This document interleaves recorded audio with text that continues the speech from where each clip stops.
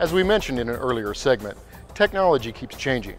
With the introduction of extended life coolants, new maintenance procedures are now required to solve a major problem that's not identified in manuals or antifreeze instructions. That problem can be summed up in one word, contamination. Today, contamination is the major cause of cooling system failure, and it's not just a problem with older cars. Contamination can be a problem even before the first recommended coolant flush is required. With different metals like iron, copper, and aluminum in the same system, and an increasing number of antifreeze formulations, cooling system chemistry has become very complex and poorly understood, even by original equipment manufacturers. Recently, the practice of topping off coolant has been associated with cooling system contamination. According to Valvoline, maker of Zerex antifreeze products, it is important to top off with the same type of coolant that has been properly diluted to 50%. Corrosion inhibitors are formulated to be used at 50%, so topping off straight coolant can overdose the system. On the other hand, topping off with just water can also have harmful effects on the cooling system.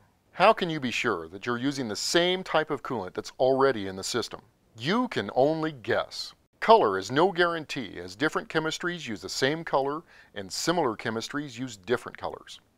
Universal coolants, which use proprietary OAT-based corrosion packages, claim they can be mixed with all color coolants, even traditional green coolant. But on the back of the package, many say for best results, drain, flush, and fill rather than just top off the system. That should be a red flag for technicians. In reality, anything less than best results is a maintenance shortcut that can only lead to component damage.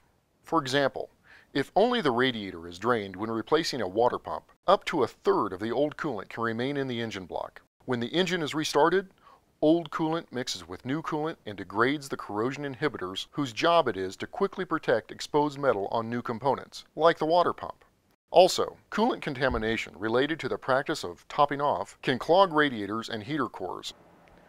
Coolant contamination is also caused by neglected maintenance all coolants and corrosion inhibitors break down over time, which allows chemical reactions in the system that lead to formation of rust and scale. With persistent heat, glycol becomes slightly acidic. Depleted corrosion inhibitors then allow rust to form on the interior walls of the engine block. Scale can form from minerals in tap water that is routinely mixed with coolant instead of the recommended distilled or deionized water. Always use distilled or deionized water to prevent mineral and scale buildup. Scale and rust can build up in the system and cause overheating by decreasing the direct contact the coolant needs with the hot engine block and clogging the radiator and heater core.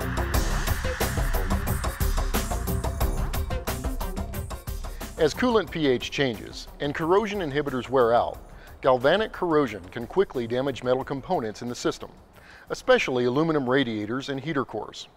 Galvanic corrosion, what some call electrolysis, occurs when a conductive electrolyte, like coolant, connects metals of different types, like iron, copper, and aluminum. Normally, corrosion inhibitors in new coolant coat the metal parts and insulate them electrically. When depleted, however, unprotected parts like the thin aluminum tubes in radiators or heater cores lose metallic ions into the electrically conductive coolant. Aluminum is extremely reactive when unprotected in this environment. Worn coolant can also lead to cavitation damage to water pump impellers and cylinder walls in the engine.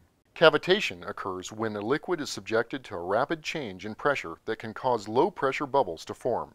Cavitation can create pitting of the metal which damages water pumps. Here's an example. Notice how cavitation has eaten away the metal around the impeller. Damage to cylinder walls can eventually let coolant leak into the cylinder and force combustion gas into the coolant. That will be an expensive repair for sure. When a system has been neglected, or when topping off results in system contamination, new flushing procedures are needed to remove rust, scale, and other solids before they damage water pump seals. Many new water pump warranties, in fact, require a system flush before installation. Yet 95% of water pump warranty claims submitted by service dealers indicate that no flush was completed before installing a new pump. Most service dealers use a garden hose or closed loop flush machine. For clean systems with no contamination, that's fine. But for neglected or contaminated systems, A garden hose flush or a closed loop flush machine does not remove enough contaminants in the system to prevent premature water pump failure. Plus, exchangers cannot isolate the heater core, the radiator, or the engine block where much of the contamination is caught. For contaminated systems, we recommend using the Power Clean Flush tool every time a water pump is replaced or the system is open for repairs. This new tool safely cleans each component by the water's pulsating wave action.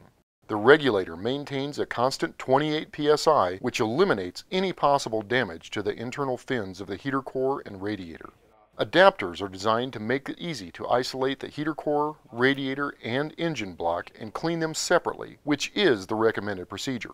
To demonstrate effectiveness of the new tool, a garden hose flush was first used on this neglected system, since that is the procedure used by most technicians.